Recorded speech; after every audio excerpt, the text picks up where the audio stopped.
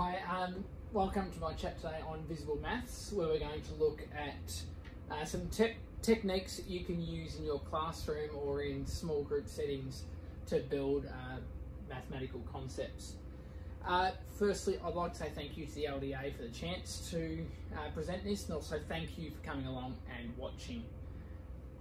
Okay, so what we're going to talk about today is pictorial to concrete abstract sequence. So the concrete stage is one that we're probably quite familiar with in the lower grades, but we tend to move away from in the upper grades. And that doesn't have to happen. We can continue to use things like blocks, things like Cuisenaire rods to build concepts such as simultaneous equations. Won't be able to get to that today. There's only so much I can fit in 45 minutes. But concrete has its place in a classroom right up to lower secondary. Then once we've built the concrete stage, so again, MAB block counters, we move to the pictorial where we're representing uh, the equations and they can sort of look slightly different. Uh, some of them can be simply drawing the objects as they are before moving to some slightly more abstract representations, but using what's called proportional reasoning to represent the numbers and then we are moving to abstract which is just dealing with the numbers uh, the algorithms that we're used to in maths. Um, what I don't want to lose sight of is that even at the concrete and pictorial stage we would like to make sure that we are representing the abstract representation along the way so that when it comes to removing those supports, students are able then, uh, in a more efficient way to uh, move into those abstract representations. And our final goal, where practical, is always to be able to solve those same questions mentally. So we want to build those skills up so that we don't need these stages. Again, where practical. Okay?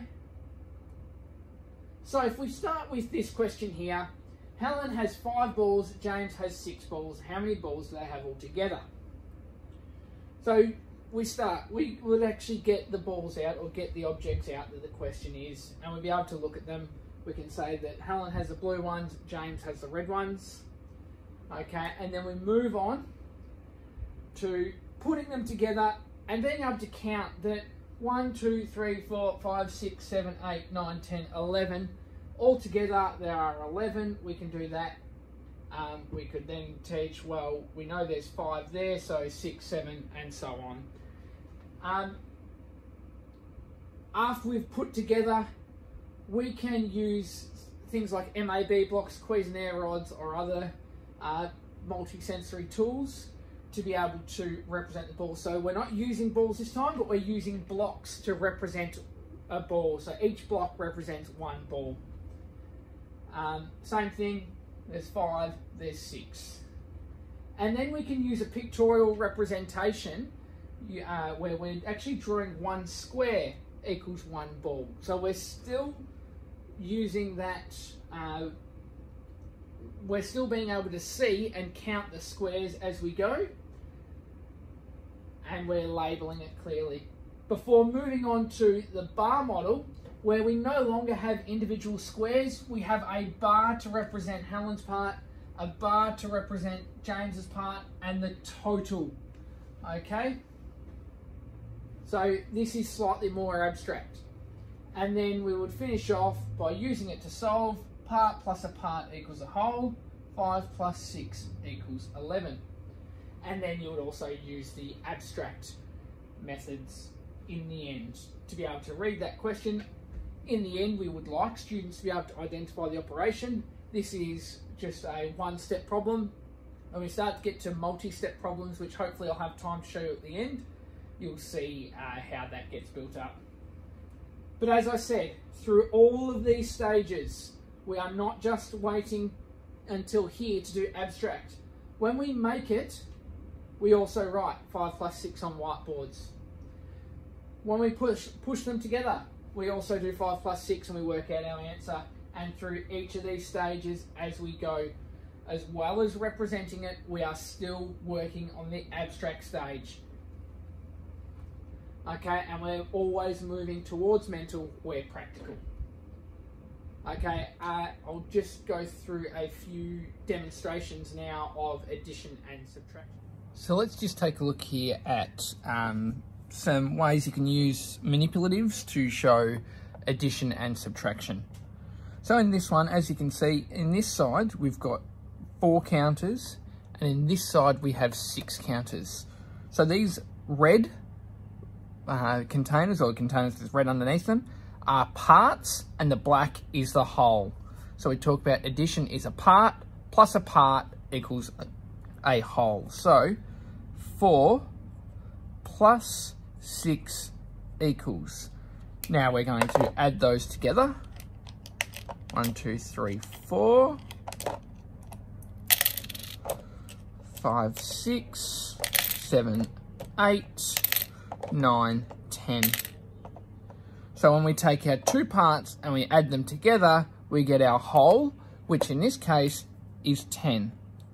4 plus 6 is 10. And what we can also show is that 6, 7, 8, 9, 10. 6 plus 4 also equals 10. And using this same demonstration, we can flip that around to show that the whole, take away a part, equals a part. So our whole number, which is 10, take away a part, let's take away the green. If I take away the green, I'm left with these yellow. So I'm taking away the green, there are six of them and I'm left with the yellow and it equals a part which is 4. 10 take away 6 equals 4 and I can show it the other way. Put those in there. This time I'm going to do 10 take away 4 equals take away our four yellow counters and I'm left with one, two, three, four, five, six. So I can use those manipulatives to play around and I can, any addition, subtraction that will work where you've got a part plus a part equals a whole, part plus a part equals a whole, and the other way around, whole, take away a part equals a part, whole, take away a part equals a part. And there's a bit of a scope that you can move through uh, after showing those manipulatives. So just put those to the side. So once you've built up that understanding, students can actually, I'll write it up the top here, uh, 4 plus 6 equals 10. And we'll also do 6 plus 4 equals 10. 10 take away 4 equals 6. 10 take away 6 equals 4. So we, first way we can do is showing those number bonds. And then we can just show that in the same way. We've got 10 at the top, one part is 4, the other part was 6. 4 plus 6 is 10, 6 plus 4 is 10, 10 take away 4 is 6, 10 take away 6 is 4. So we can see that relationship. Then we can move on to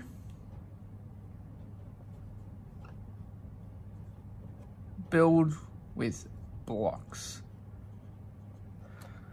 So if you take this one here, our total was 10. One part was 4.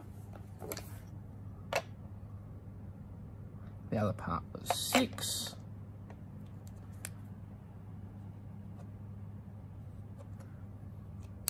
You can also do it using Cuisenaire rods, which are a bit more abstract. So as you can see, they don't have the squares to count for you. So 10, 4, 6. 4 plus 6 is 10, 6 plus 4 is 10, 10 take away 4 is 6, 10 take away 6 is 4. And you can, you don't have to use what some people might call the 10 block. If you use Cuisenaire rods, I encourage you to use the colours, not the number, because you can also show that exact same thing using correct proportional relationship with these ones here. Our total is 10, 4 and 6. 10 take away 6 is 4, 10 take away 4 is 6, and so on. So using blocks, you can demonstrate it that way. Our next way is using some paper strips. So if you get out your strip of paper, now this is just some origami paper cut into strips. It's two-sided, so the, and you'll see why in a moment. So we start by identifying the total. In this case, it's 10. And our two parts are 4 and 6. So just using our scissors and proportional reasoning, just cutting and turning one over. That's why we use the two-sided paper. We can easily cut and change the um, colour to identify the two different parts. So this one, four and six. And what you can also do here is you can show I've got 10. If I take away 6, I'm left with 4. I've got 10. If I take away 4, I'm left with 6, and so on. Uh, and just on that one thing, also with these ones, they've got the hollow bottom. You can show it this way also. 10, take away 6, you're left with 4.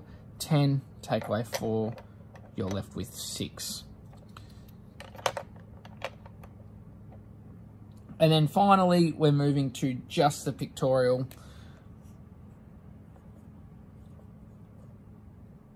Bar.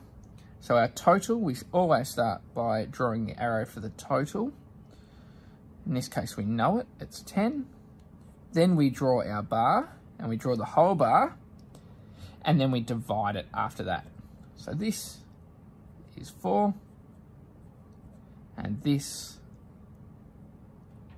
is 6. Now you can leave it like that or just like has happened all the way through, color code using different colors to identify the fact that it is, uh, these parts are not the same. And when we get to multiplication and division, when they are equal parts, you want to color them the same. So that's something for later on. So that's how you can start with these manipulatives and move through the scope to um, using the bar model, which you would primarily use uh, during problem solving. The important thing is you need to use this alongside the operations in your teaching. You can't just use it for problem solving, otherwise you're trying to teach two things at once. So you want students to be familiar with the operations in these representations and it will assist in their uh, representations in problem solving.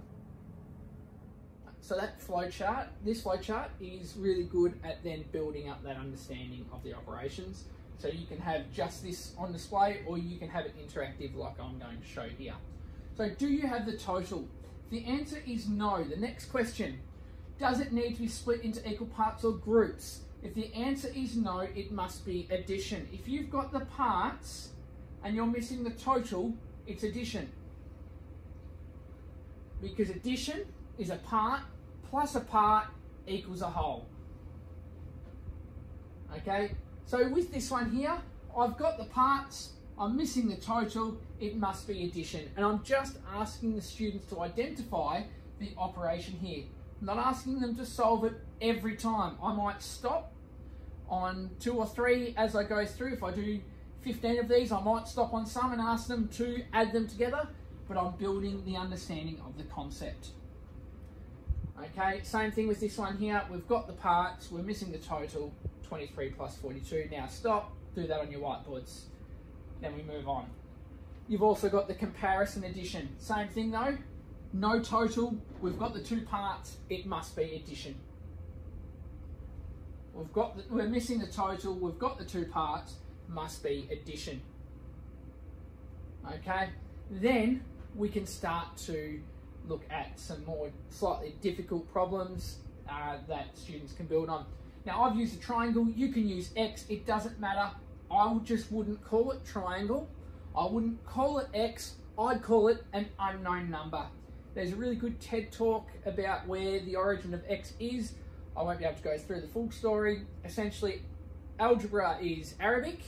It was translated into Spanish. They didn't have a symbol for sh, so they borrowed from the Greek alphabet, which then when it was translated into English, it became X. So X stands for the unknown or the unknown number.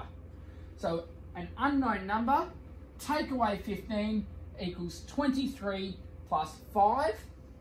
So if I look at this question here, I could say, well, the unknown number is the total, 15 is a part, and 23 plus 5 is another part. And I can represent that as a bar model. So an unknown number is the total. 15 is a part, and 23 and 5 is the other part. So I can either work it out by adding them, I can add these two parts together, which gives us 28, and then I can rearrange it into an addition problem. Uh, 15 plus 28 equals our unknown number or vice versa. Same thing here, unknown number, take away 8 equals 18. I should have done it the other way around, I guess. And so on. So we can see that the important language is unknown number, not triangle, not X, or so on. We want to get students to understand unknown number. Okay, equally this time. Do I have the total? Yes. Notice the question is exactly the same. Does it need to be split into equal parts or groups? No, it must be subtraction. If you've got the total, you don't have all the parts, but, and it doesn't need to be split into equal groups, to find the missing parts, you've got to use subtraction. Subtraction is a whole, take away a part equals a part. Oh, I've done these in the wrong order again. Um, I'll go through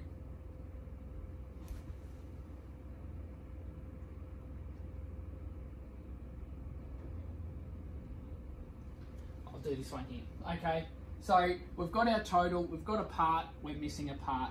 So this would be 95, take away 71 equals an unknown number. 148, take away 52 equals our unknown number. Again, this time, this looks slightly different. This is actually our total. We're finding how much smaller 13 is compared to 52. So I don't have time to go through every uh, possible representation in this uh, PowerPoint. I'll have a link to a YouTube video, a YouTube channel I've got where you can have a look at more of these videos and demonstrations. Um, but so 52 take away 13 will tell you the difference between those numbers and that's what we're looking for. Same thing here to find the difference between 68 and 43. 68 is our total, 43 is a part, this is our missing part. All right. And then we can move into problem solving. So keys for consistency, representation of addition and subtraction. Let's read the question. Grade 2 was surveyed to find how many pet cats and dogs they would bring to school for pet day. There were 16 cats and 36 dogs. How many pets were going to be at pet day? So it would represent cats and dogs using our proportional reasoning to say, well, cats is smaller. It's around about maybe half of the dogs, but I'm not going to use a ruler to measure it because it's proportional reason, not measurement. So I then can colour and clearly label the parts. I draw my total, which is missing. I don't know what the total is. I can put a question mark up there. Now we need to identify how many cats were there. There were 16 cats and there were 36 dogs. Okay, now I can talk the language being the key part. We do not have the total, but we have the two parts. They are not equal, so it must be addition. So 16 plus 36 equals 52. There were 52 uh, pets coming for the day. Let's read the question, change it slightly to make it a subtraction problem. Uh, so grade 2 was surveyed to find how many pet cats and dogs they would bring to school for pet day. There were 52 pets coming for the day. If 16 of them were cats, how many dogs were there? So let's see, 52 is the total. There are 16 cats. The number of dogs is unknown. So 52 take away 16 will tell us how many is left over and how many dogs there were for the day. Now I'll go through and do some demonstrations of multiplication and division. Okay, just taking a look at multiplication and division. So if we have a look here, 2 times 4 equals 8, 4 times 2 also equals 8, 8 divided by 4 equals 2, 8 divided by 2 equals 4. Now one thing at the moment uh, for a multiplication problem, if someone asks you four twos or two fours, whichever one, it does not matter so much which way it's written. We want students to be flexible and understand that both they are uh, going to give you the same answer. But when it comes to the representation, we need to make sure that we're carefully reading what it says. So to build the understanding through here, it doesn't, it's, you just want them to understand the relationship between the two. So in this one here, slightly different to how we did our number bonds because we don't want them to be having the same representation uh, and get potentially getting confused between number bonds and fact families. So we do our total like this and now Okay, so it's a number repeated a number of times equals our total, or our total shared between a number of groups equals a number in each group, and so on. So we can use that representation to show multiplication. Then, if we go into our building blocks, we can show 8 is our total. And we have one two, three twos, four twos, five twos. And the way you represent that is you can see that there are four separate, I suppose it's a bit hard from the top there, um, seeing that there's four separate, only label one. Uh, or if students early on want to be labeling all of them, they can. I'll show what that looks like. But eventually want to get to the point where we know that if this is two, they're all the same color. They have to be two also. And then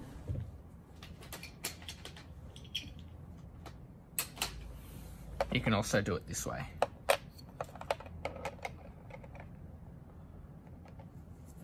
Total is 8.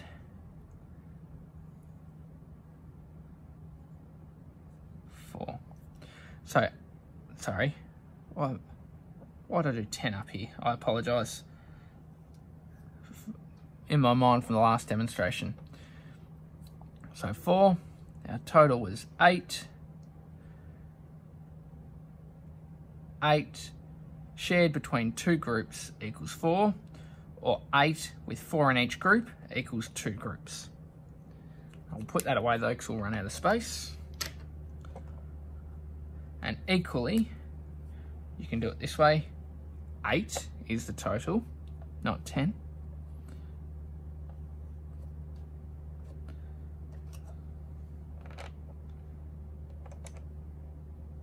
And then again, two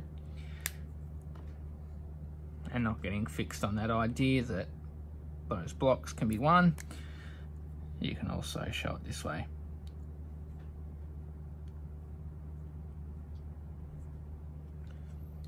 Okay, then moving on to our paper.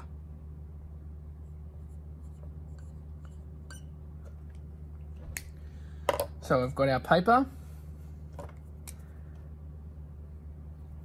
Our total is eight. Ooh. Okay, now we need to make four equal groups. So to make four, we get our piece of paper, we fold it in half, then we fold that half in half again. And now we should have one, two, three, four groups. And in each group, we have two or as I was saying before, if initially to build that understanding, you want to do it this way, you can, but the problem is that starts to become time consuming and you want them to understand that if this is two, the rest are also two. So you, you don't want to always be using that strategy, but you can initially to build the understanding. Um, also, you could do it. Just fold in, make two groups now.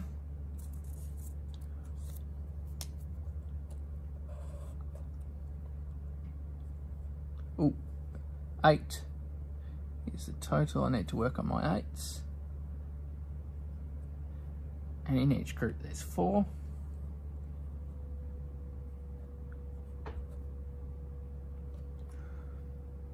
Or the final way is, let's make the total eight. Actually, the final way I'll draw that because it will make more sense to draw. And then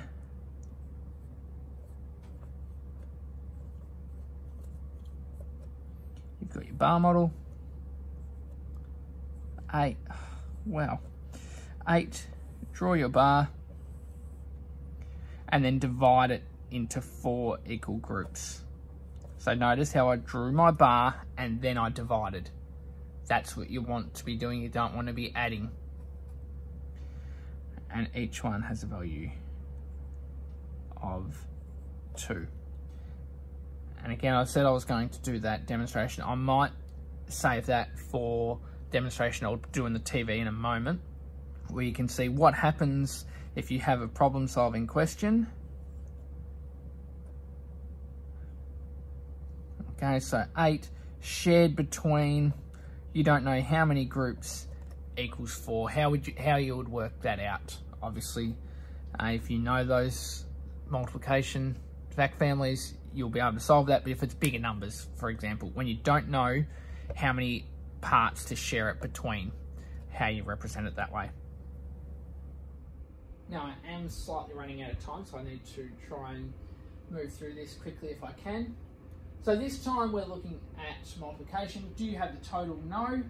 Does it need to be split into equal parts of groups? Yes, so it must be multiplication.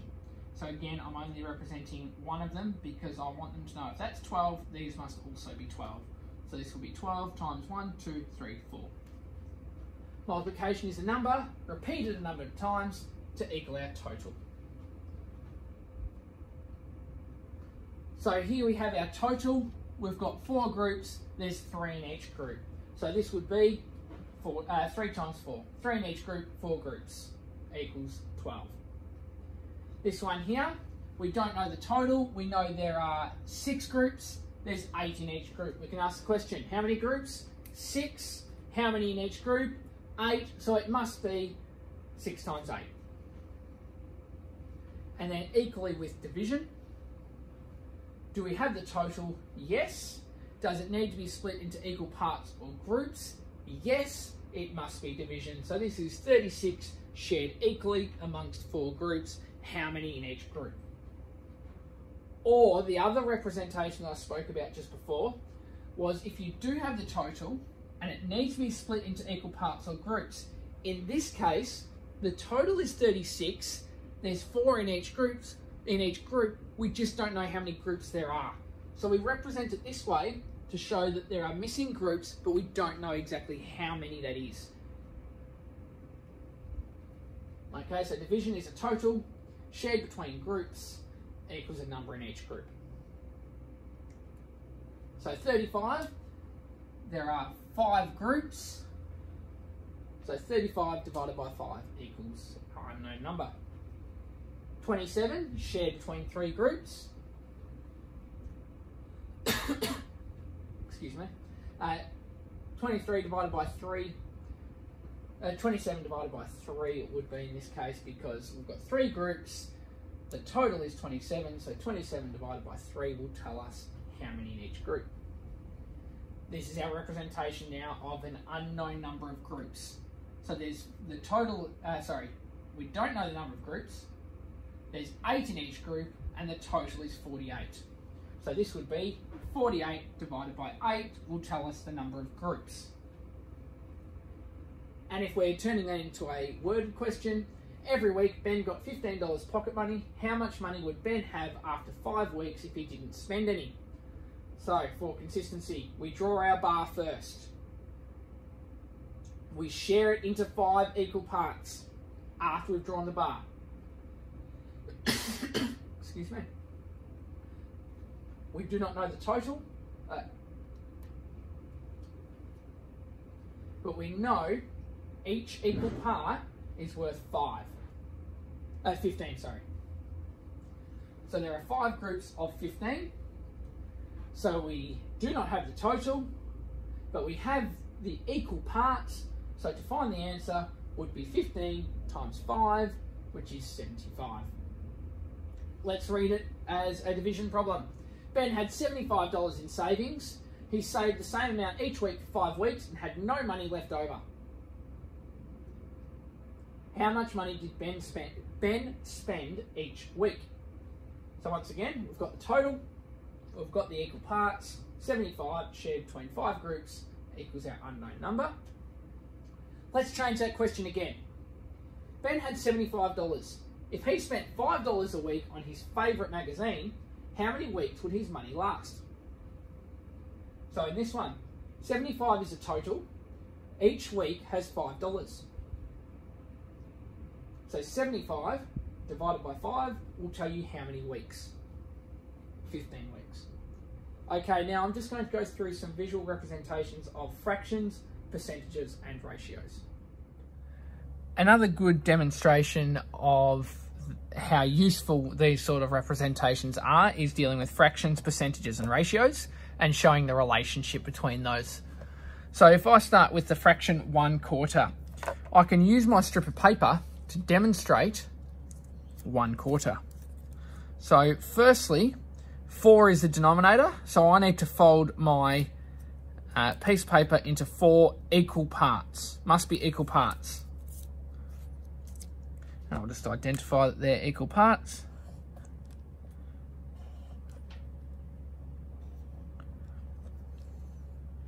Okay, and then I need to colour in one of those equal parts. Now, if you wish, you could cut that out, flip it over, and so on, but colouring can be quite quick. Where that gets better is if you then start to ask, what is one quarter of 20. my total is 20. I have four equal parts. So 20 divided by 4 equals 5. Each equal part has a value of 5. So 1 quarter of 20 is 5 equally. Let's say instead of one quarter of 20, we wanted to identify three quarters of 20. So I start. I could have actually just used the uncolored part, I guess. But this way you say, the denominator tells you how many, how many parts to divide it into. The numerator tells you how many parts to colour in. Okay, so this time we're finding 3 quarters of 20. Once again, there are one, two, three, four equal parts. So 20 divided by 4 equals 5. And we want to find out how much, what is the value of 1, 2, 3 equal parts. So if each equal part has a value of 5, and we want to find 3 of them, 5 times 3 equals 15. Okay, and again, you can use that using the blocks or just doing, I should have done the total there. Your pictorial representation. And notice again, when I've done it, I drew my bar and then I divided. So that is three quarters of 20 is 15. Now again, percentages, you would want to show the relationship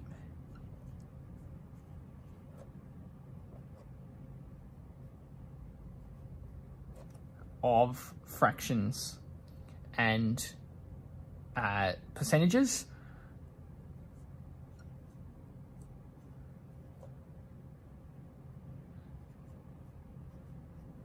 So, and, and even initially, provide this table so that they they can relate it to what you've done with fractions. And then we can do it the exact same way.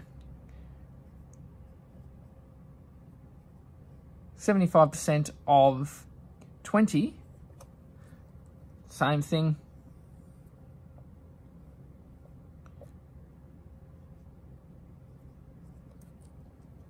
We're finding 75%. When we draw it, there are four equal groups, so 20, just like over here, divided by 4 equals 5. We want to find the value of three of those groups, so 5 times 3 equals 15. 75% of 20 ooh, is 15. I did that a bit too close. Same thing, we can draw that.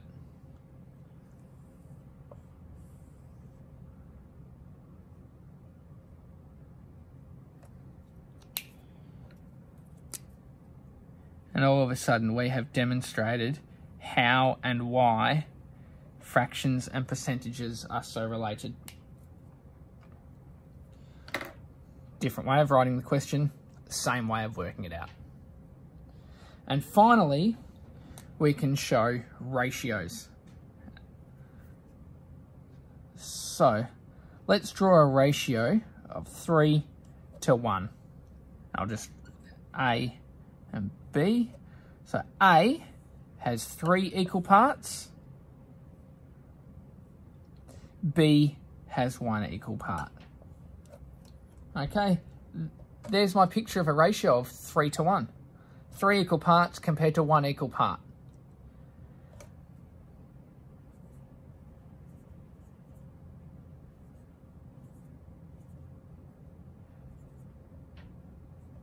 Share 20 at a ratio of 3 to 1. So I've got my uh, I've got my representation here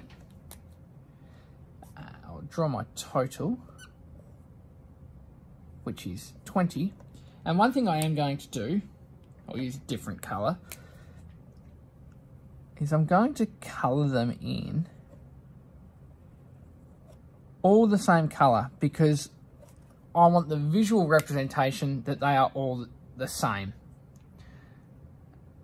Alright, so share 20 at a ratio of 3 to 1. So our total is 20.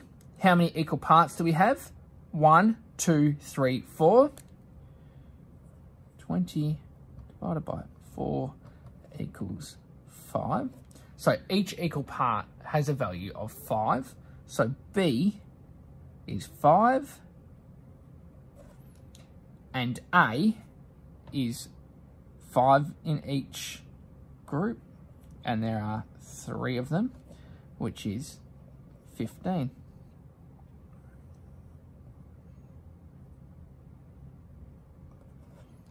So once again, we can actually see the relationship between fraction and ratios and why I suppose one common misconception would be that that is one third. It is not, that's three quarters compared to one quarter. Three quarters compared to one quarter. We need to think about the total parts. So there's just, again, another way that you can work in the classroom with fractions, percentages, and ratios before you move into the problem solving side of things. Okay, so we're going to get through this last bit quite quickly. So what is a good strategy is to come up with when you're going to introduce those representations, when you're going to teach them, and when you're going to revise them through all of the operations as well as things like fractions, uh, percentages, ratios like you saw.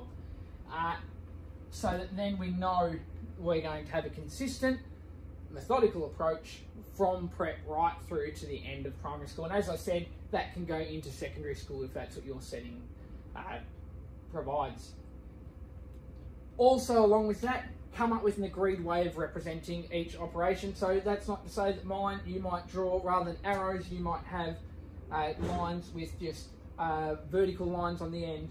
Just come up with an agreed way so that you're not teaching new things every year. You've got the same representation throughout your school. So let's read this question here. John and five of his friends share 84 stickers equally among themselves how many stickers did two of his friends receive altogether? So we read through the question, then we go through and we circle the key numbers. 5, 84, 2. Okay, underline the question. How many stickers did two of his friends receive altogether?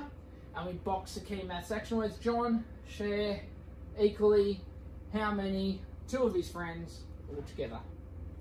And then we can start to draw. Now, I've got that ready to go on the uh, screen. But what I like to do as well is before I show that and go through with the students, so they see it twice, I actually draw it as well. So we have our total, which is 84. Okay, and we've got John and five of his friends, which means we've got six equal parts. So I draw my bar and then I divide it into six equal parts. Okay, and then I'm going to find how many two of his friends, how many stickers two of his friends received. Okay, so first step is to find what's one equal part. We need to know what one equal part is before we can find two. 84 divided by 6, because there are 6 equal parts, equals 14. I need to go through this quickly. So each equal part is worth 14. Two equal parts must then be worth 28. So two of his friends received 28 stickers altogether. We go through here one equal part, two equal parts, 28 stickers. Now, the other way this is, the other way you can think of this as visual algebra is you're actually saying six equal parts equals 84. Two equal parts equals what? So 84 divided by 6 x equaled 14. 2x equals an unknown number. 2 times 14 equals 28. So it's a slightly different way of doing algebra, but you can do it at a much lower grade than maybe traditionally we have, uh, because you're introducing it in such a visual way. And answering at the end Oh, two friends received 28 stickers. I apologise. Okay. I won't get to draw this one because I won't have enough time. This might be our last one. Uh, I'll put up a link in a moment for where you can go to watch a scope and sequence videos of grade 2 right through to grade 6. So shopkeeper has 183 files. This was 46 less than the number of folders he had. The number of spiral notebooks he had was 30 less than the number of folders he had. How many spiral notebook, notebooks did the shopkeeper have? Circle key numbers, underline the question, and box key maths action words. And then we go through and we start to solve. So we've got the files. We know there's 183. We draw that. Now, this was 46 less than the number of folders he had. So we would have 183 folders plus 46. And then if we draw the number of spiral notebooks. So the spiral notebooks is the same as this less 30. So what we need to do is find out how many folders that is and then take away 30. So we find the number of folders. 183 plus 46 is 229. There are 229 folders. There are 30 less spiral notebooks. 229 take away 30 is 199. So we're not asking students to do maths that we haven't introduced. We're not asking students to do maths that we haven't uh, taught and think they have sound knowledge. We're showing them how to access the question, how to break it down, because that on its own is quite a lot of information. Okay, I think I'm going to have to finish up there because, uh, as I said, that is just about my time up. So just some resources you can use. So youtube.com slash junior maths. I've got these in channels. I'm adding to them uh, over the holidays as well. So I have all of grade two problem solving questions done. You need to do a bit more revision there. I've got all of grade three's units done. I've got the first units done in grade four, five, and six, as well as some other representations of using blocks to use uh, of all four operations. So have a look at those. Uh, also, the maths model drawing made easy and inspiring three and four. There's also a five and six book. That's what I've used to break down uh, into year levels. You'll have to pull it apart because some in five, six you could introduce earlier. Some in three, four you probably need to wait until the older grades to introduce. As well as this series here by Yeap Ban Har. Uh, they've also got ones on fractions, percentages, ratios, and so on. Uh, that's about a five book series. I think they're really good at teaching how to uh, use the bar model. But thank you for watching, and once again, thank you to the LDA for the opportunity to share this information. I think I've run a little bit over time.